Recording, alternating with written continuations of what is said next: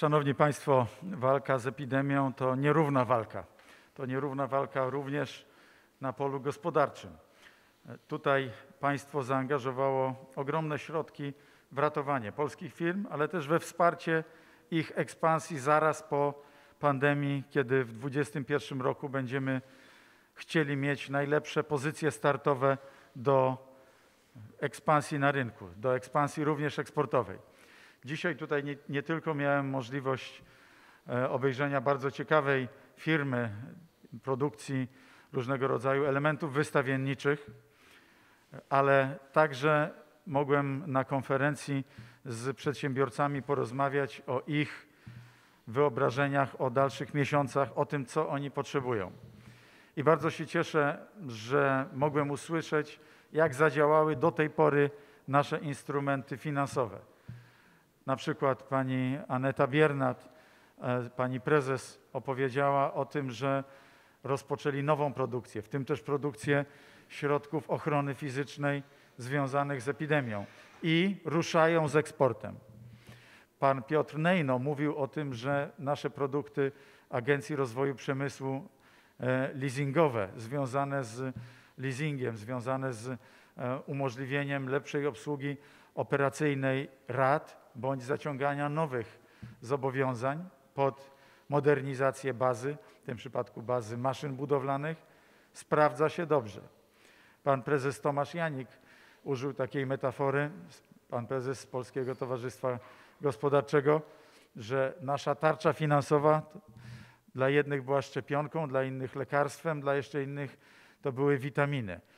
I drodzy Państwo, rzeczywiście wiem, bo z wieloma przedsiębiorcami rozmawiam, że dzięki Wam i dzięki wsparciu ze strony państwa tarczy finansowej, tej finansowej bazuki, którą uruchomiliśmy, udało się uratować 3 do 5 milionów miejsc pracy. 3 miliony miejsc pracy z tarczy finansowej, a licząc wszystkie nasze instrumenty leasingowe, eksportowe, kredytowe, gwarancyjne, inwestycyjne, około 5 milionów miejsc pracy. I to jest ta najlepsza wiadomość, którą możemy dzisiaj pokazać na tle Unii Europejskiej.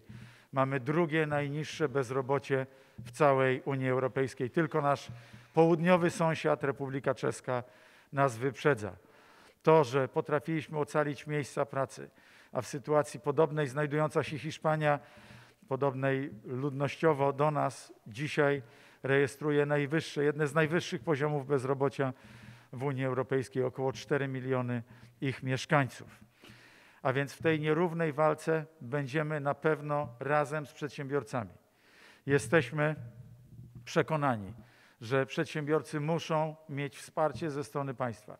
Także ta firma, o czym być może powie jeszcze za chwilę pan prezes Wójcik, otrzymała wsparcie około 1 600 tysięcy na utrzymanie miejsc pracy i dzięki temu udało się te miejsca pracy w ogromnej większości, ogromnej, ogromnej większości zachować, przechować i dzisiaj przygotowywać się do ekspansji.